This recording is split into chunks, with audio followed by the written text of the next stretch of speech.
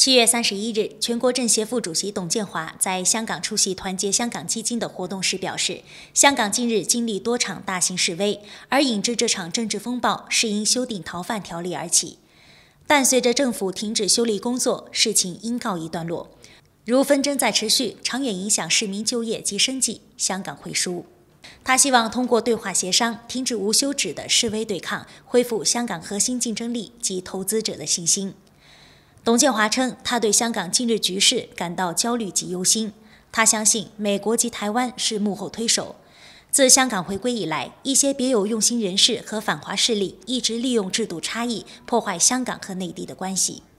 细心观察呢次政治嘅风暴呢，提升之快速、规模之庞大、组织睇上嚟好似好松散嘅，但系实在呢系精密同埋隐蔽嘅。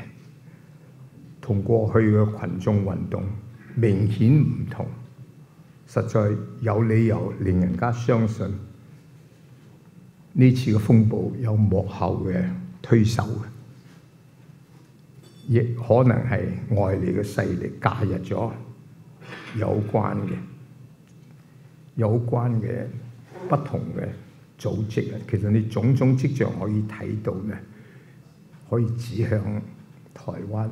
同埋美國嘅，佢哋利用香港同內地嘅制度嘅差異，煽動港人嘅恐共情緒，破壞內地同香港嘅關係。佢哋嘅根本目的就係要令香港變成國際博弈嘅戰場，令香港變成反抗中央嘅基地，作為牽制中國嘅棋子。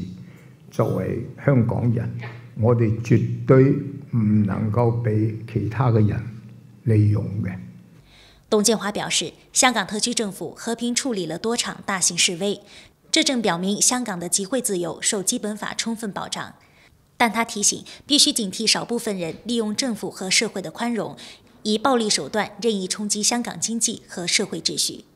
他还談到，過去一段時間，很多人對眼前局勢表達了不同意，但很多市民未發出聲音。他希望這批沉默的大多數表達自己熱愛和平的意見，阻止情況再繼續惡化。在一批沉默嘅大多數，眼看住和平先進、好好地嘅一個香港，突然之間變成你追我打，充滿咗仇恨。迷茫、失去，卻又茫然不知，亂放咁樣嘅亂放幾時可以結束？我哋有必要一齊發出最響亮嘅聲音，要求各界馬上停火，停止無休嘅無休止嘅示威對抗。讓不同理念嘅唔同背景嘅群體透過協調、磋商化解分歧。董建華強調，要戰勝現實的政治風暴，需有四個原則：一是國家主權不容挑戰；二是香港社會穩定不容破壞；三是與暴力行為劃清界限；四是民間聲音不能不聽，為政者必須虛心聽不同聲音。我嘅立場係好清晰嘅。第一，對於呢啲全心擾亂香港、撕裂香港、夢想以暴力摧毀香港嘅害群之馬，我哋絕對唔唔唔可能妥協嘅。第二，對於呢啲困擾嘅香港多年嘅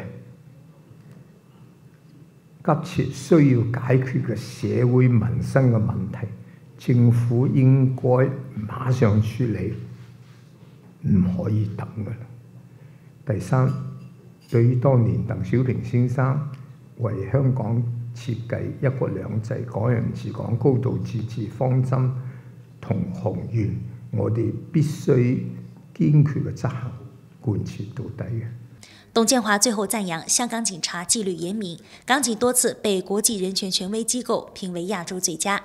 他相信警方有能力缉凶、捍卫法治，以果断措施恢复社会秩序。